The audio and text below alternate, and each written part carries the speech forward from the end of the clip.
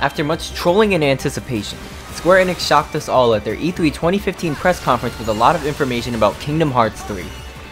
If you're a Kingdom Hearts fan, you know a new trailer is a really big thing, and that's exactly what we got today. Explosions of hype all around, Sora's new outfit revealed, and tons of sick gameplay. Now that the storm has settled, however, it's time for me to thoroughly analyze a lot of what I personally noticed about the trailer. We are going to go in really deep, I mean really in depth in this video, as I will be taking a look at nearly every small detail. Sit back, relax, and get ready to see all you need to know about the new Kingdom Hearts 3 trailer. I am going to periodically stop this trailer at many points in time to make comparisons, talk about what's on screen, and even put ideas about the Kingdom Hearts storyline out there. Let's get started.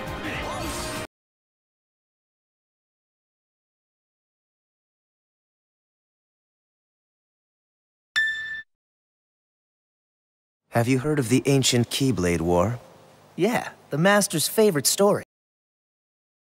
This area may not be overly familiar right now, but if you would remember back to December, you would remember artists from KingdomHeartsInsider.com recreated artwork from the unseen trailer for Kingdom Hearts 3 at the Kingdom Hearts 2.5 launch event. This was a trailer that was shown behind closed doors only to those that attended, and basically those that were invited. KH Insider had artists try and draw what they saw over there, and one of those pieces of artwork was a library-like area with a long curtain that had chess pieces at a windowsill. Well, looky here, we have two young men playing chess at a window with a long white curtain. This is definitely the area that those in December saw. The general environment absolutely gives me a land of departure feel, and this leads me to believe that the name Cabletown is the true name for the land of departure. I mean, come on, what kind of name for a world is Land of Departure anyway? Sort of a similar situation to when they renamed Hollow Bastion to Radiant Garden in Kingdom Hearts 2. Also, if you hear the first two lines that are spoken, this is confirmed to be the conversation released in a teaser in last year's E3 between young Xehanort and young Eraqus. Have you heard of the ancient Keyblade War? Yeah, the Master's favorite story.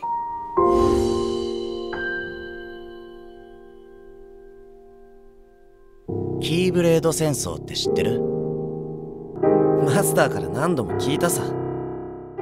Except it is now fully voiced in English. In fact, if we actually listen to the Japanese version of the Kingdom Hearts 3 E3 2015 trailer, it is the exact same voice clips from last E3. キーブレード戦争って知ってるマスターから何度も聞いたさ。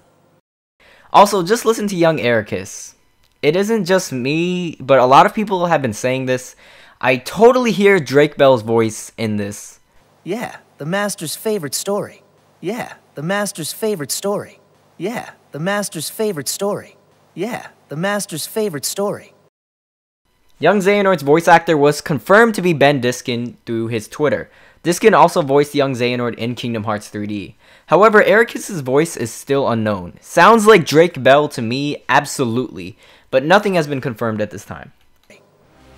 So, you know the Lost Masters. They're the ones who started the Keyblade War.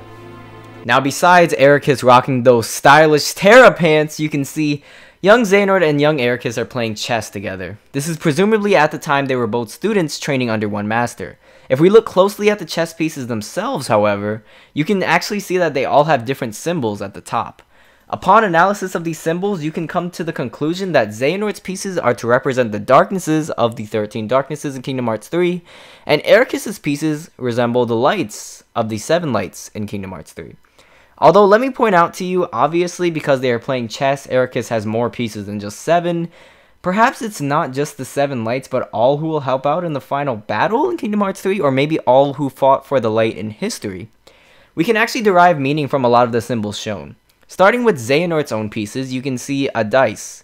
Reminds me of Luxord. Is this confirming Luxord for the 13 Darknesses, or Luxord's real person? We see a round eclipse looking thing. This could be a solar or lunar eclipse, and I associate the moon to Saïx.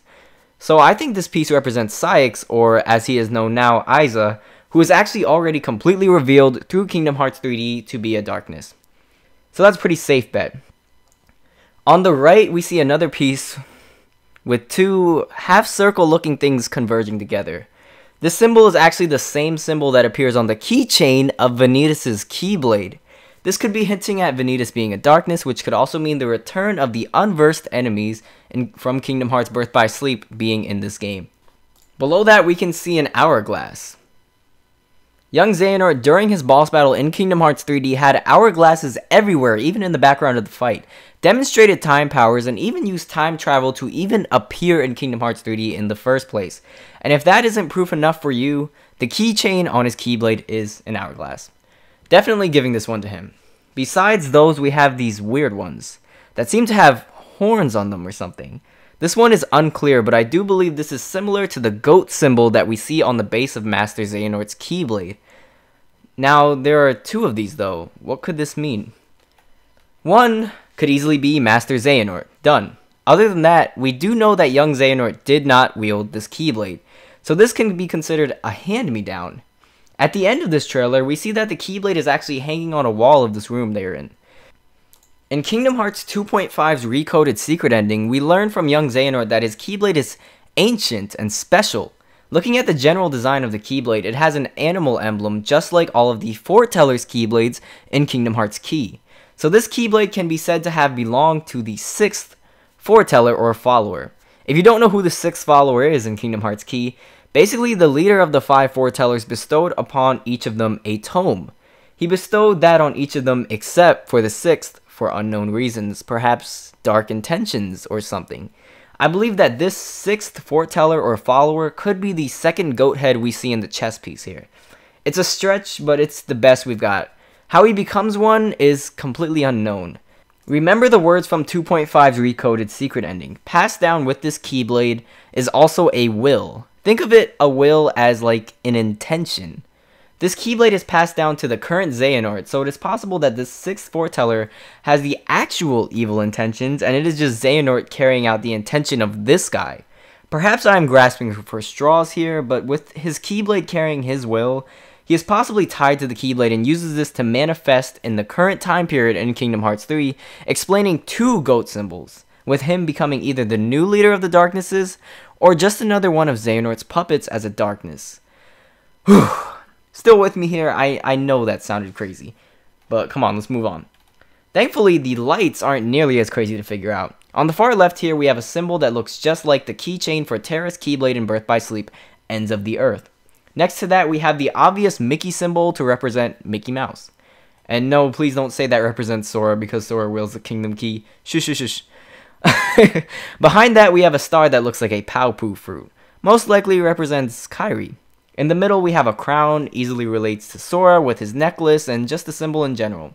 The one in the back here's closest match would be the keychain on Aqua's Stormfall Keyblade to represent Aqua.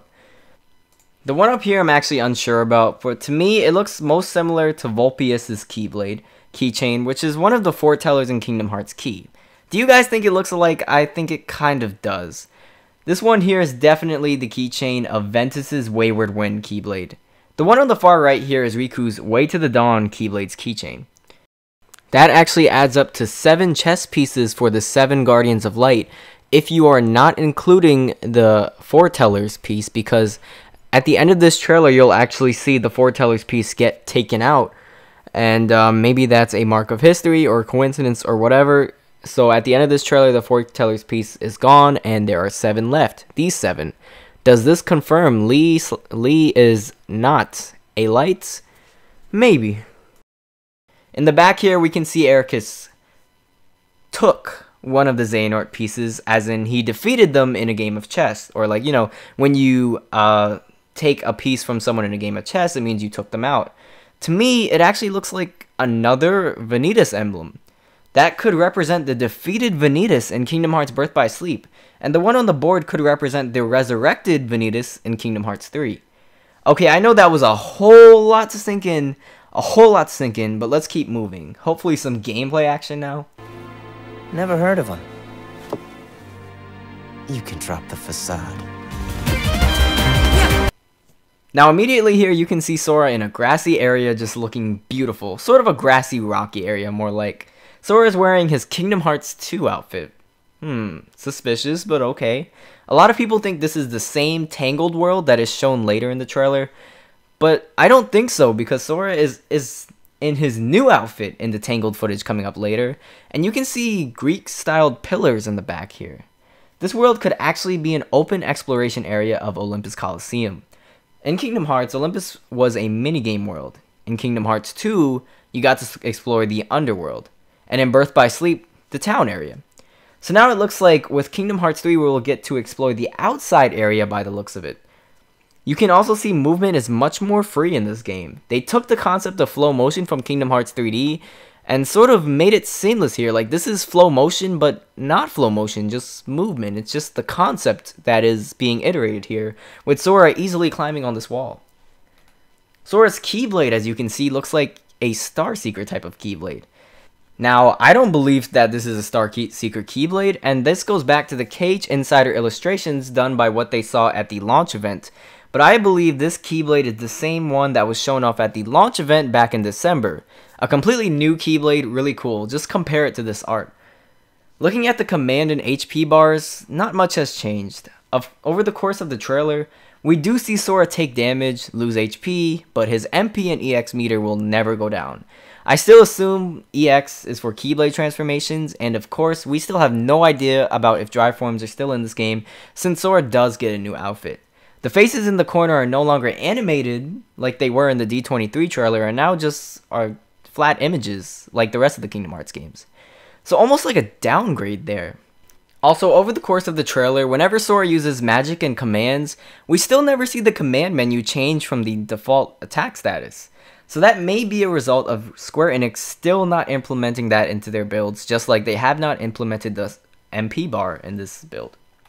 Also, you'll notice that Sora's battle quotes, aka whenever he speaks while he's fighting, like, come on, ha, yeah, that stuff, etc., is actually taken directly from Kingdom Hearts Dream Drop Distance. Um, obviously, I believe that this is a placeholder. I do not think they contacted Haley Joel Osment yet to do any serious voice acting for this game. And, you know, they just sort of edited in Kingdom Hearts 3D's voice clips since they are the most recent. And, you know, honestly, they sound really good, but obviously, I would definitely want him to record new ones.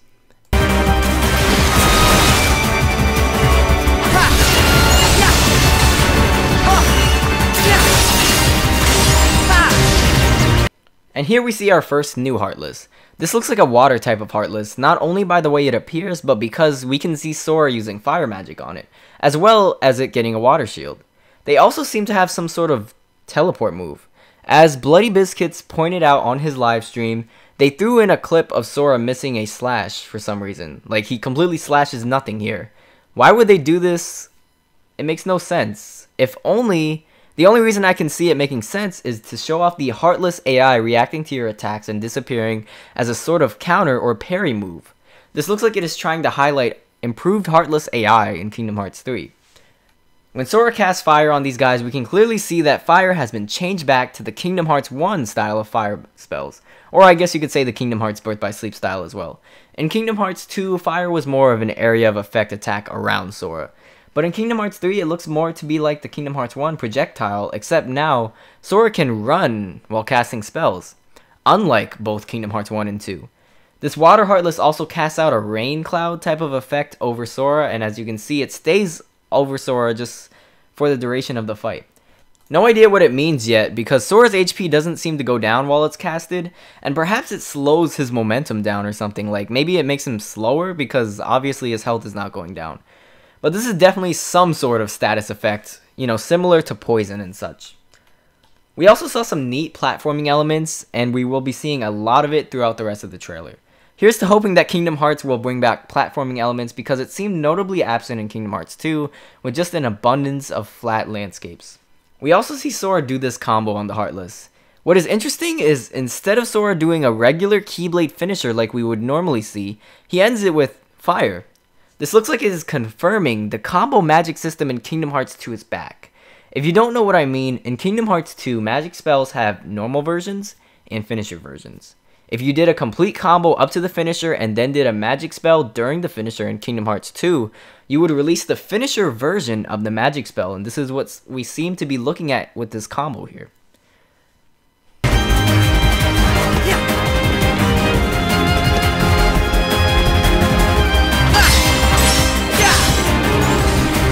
Okay, after some more movement, we see our next new Heartless. This Heartless, I feel sort of an Olympus Coliseum soldier theme to it.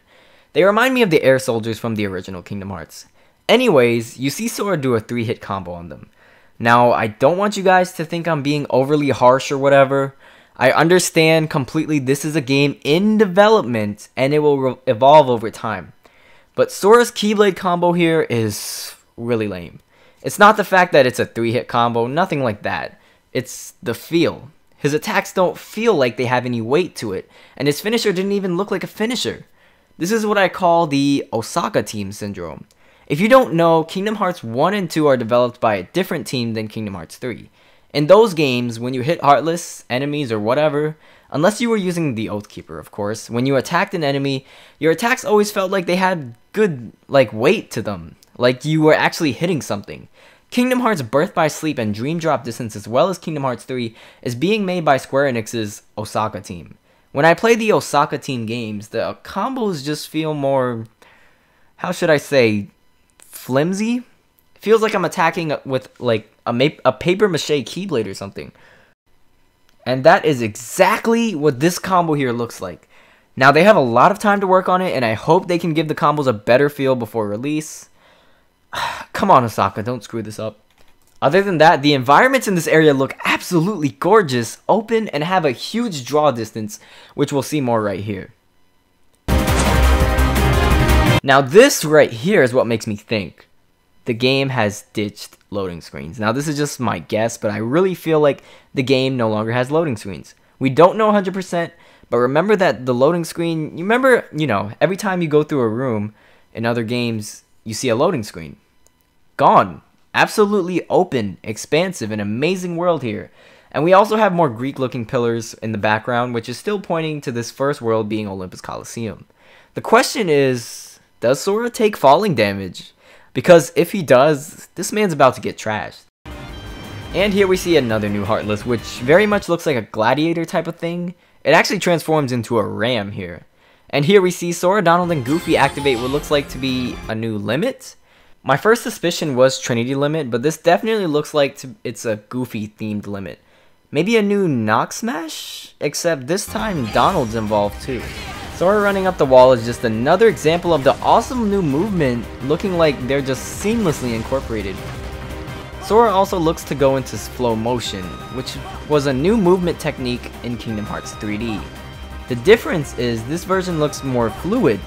The 3DS slow motion to me felt very blocky, I guess pausey. I don't know how to describe it, but this one like looks so much smoother. And the boss here is Rock Titan, which is the final reason to make me feel like this first area of the trailer is Olympus Coliseum and not Tangled. We see Sora activate the same attraction flow from the D23 trailer. This one, while still looks to be on rails, looks slightly more fluid and looks like someone is actually playing rather than the exaggerated slashes we saw in the D23 gameplay, so much improved here. And finally, we get to see Sora's new outfit. This, in my opinion, looks really good. I was extremely worried that they were going to go over the top with the outfit and put like too much armor or zippers or something. But you know, this looks great. In an interview at E3, Nomura said he was torn because fans loved the Kingdom Hearts 2 look so much, as did he. But he was pressured and felt like it was only right to change Sora's outfit, and for inspiration, he took Sora's Dream Drop Distance outfit and sort of mixed it with his Kingdom Hearts 2 outfit to come up with this. So this outfit is like the child of those two, and I must say, I can work with this.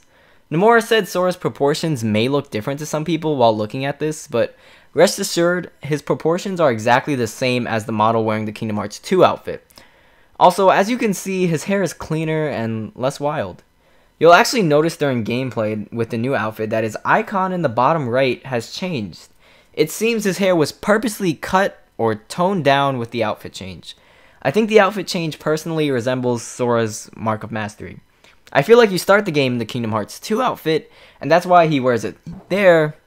And then when something is earned or changed or you progress, he gets the new outfit with the toned down hair. But you know, we'll we'll not we'll never know until the game releases. And with that tower in the distance, Sora is here absolutely stepping into a world based on the Disney movie Tangled. The creator of Tangled actually did interviews about Kingdom Hearts 3 and said how he loves Square's bringing his work to life within a game. Sadly, we see no sign of Rapunzel or other Disney characters and how they look in this trailer. But as he did say he envisioned Rapunzel attacking enemies with her hair. Whether that's actually a thing in the game or not, we'll see. And here is a new Heartless, which looks to be based on dandelions. As you can see later in this gameplay, this Heartless actually releases smaller seed Heartless into the air. This reminds me of the tank Heartless from Kingdom Hearts 1 that dies and releases smaller ones, except this time you don't have to kill it to get more appears, it'll just kind of keep popping seeds. And um, at the E3 interviews, Nomura said that you'll see Heartless AI kind of evolve and like there will be sort of a motherly instinct. I'm assuming this is what he meant with the uh, flower Heartless spewing out seeds and then, you know, newer Heartless coming out. The arrow spell returns and it's based off the arrow spell in Birth by Sleep. So it probably won't be that useful. but what's crazy is when he casts it, you can see the grass in the environment swirling around and being affected by it, which is crazy attention to detail from the developers. And here we see a Keyblade transformation that looks to be two-shoot blaster maybe? Looks cool, the only problem I see is that Sora's face looks awfully weird during the transformation. I think Square should touch up on that. I mean, seriously. The two guns come together to make a cannon, just like it was described in the exclusive December trailer, except this cannon doesn't really look anything like the artwork a fan recreated in December. Hmm, did they redesign it or are we looking at something else completely? And we can see Sora casting the arrow spell while running just like he did with the fire earlier. Nice to see movement and spells together so you don't have to be tied down when you cast a spell. Again, notice how the environment reacts to his movements, like the water physics here as he steps over the water. It just looks incredible. And finally, we see Sora activate another attraction flow, this time jumping into a pool of water and bringing out the ship. The ship was also presented in the D23 demo from 2013, but this version looks much less sluggish and more refined. When Sora runs downhill, he slides. Again, an example of how movement in this game is just improved. And now we are in Twilight Town. Notice the entrance to the mansion is still sealed like the D23 demo. What's really interesting here is that it looks like the movement is super flexible. Look at this closely. Sora casts Blizzard and then grinds and jumps on the Blizzard that he casts. It's crazy, and then while in the air, he goes into another blaster transformation. We also see Flow Motion return real quick, once again for a little small snippet. Another attraction flow revealed is the teacups. Again, more rides from Disney. Really cool concepts here. In an, in an interview um, after E3, or at E3, I should say, Nomura said originally he was going to make it so that during the teacup, Sora went into first person perspective. But players kept getting dizzy, so he changed it to what you see now.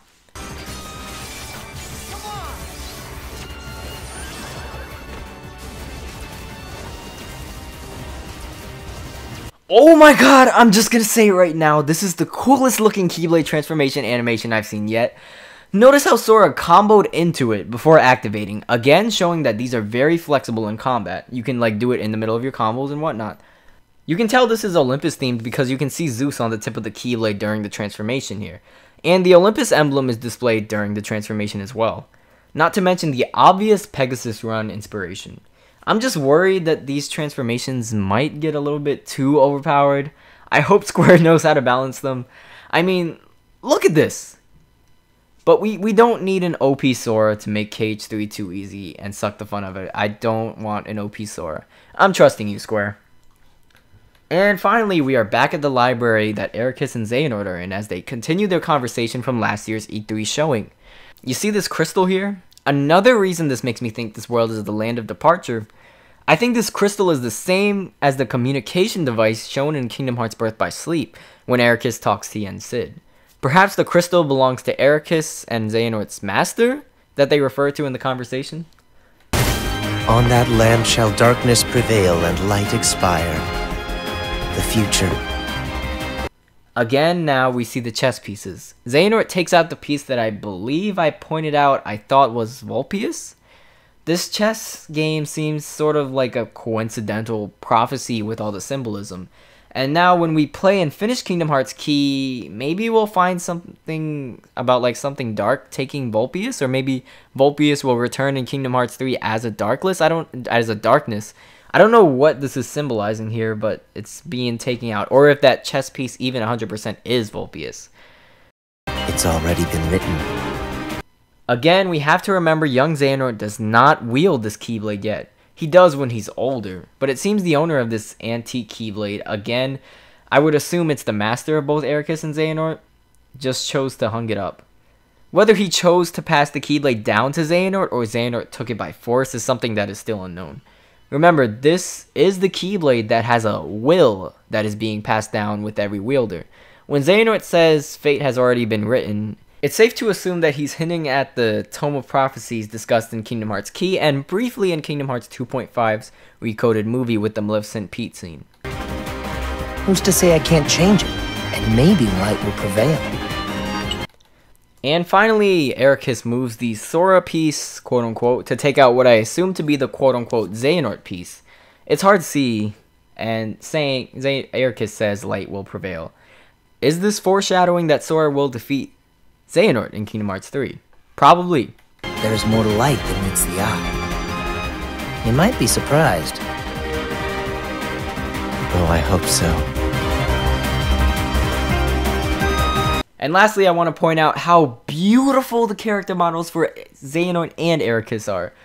Jaw-dropping. Also, Square Enix is actually giving character models separate lip syncs for English and Japanese for the first time in Kingdom Hearts 3. How do I know this? Look at Eraqus speak in the Japanese trailer, which was also released today. Now I'm gonna play the Japanese lip sync with English audio. You might be surprised. See, it, it just doesn't match. But in the English trailer, it matches. You might be surprised. Square is definitely putting higher production value into this Kingdom Hearts than any other, and it gets me very excited. Oh, I hope so.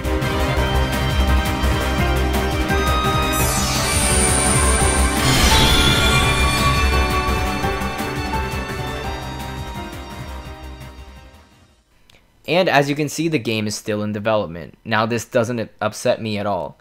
Come on guys, what would you rather have? Square give you a release date that they are not sure of and delay it inevitably? Or them just say now in development and give a proper date when they're ready? Just let them announce a window and a date when they're ready. Like, seriously, I was happy enough just seeing Kingdom Hearts 3. And that is my complete Ooh, Kingdom Hearts 3 trailer analysis. As you can see, I went really in depth, so liking, commenting, favoriting, subscribing, whatever you can do is very appreciated. I've been Soraalam1, and I hope you learned something, or at least this got you thinking. I'll catch you guys later. That's all I have for you guys today, but uh, I don't know if I can make it to the next one without your help. Give me strength.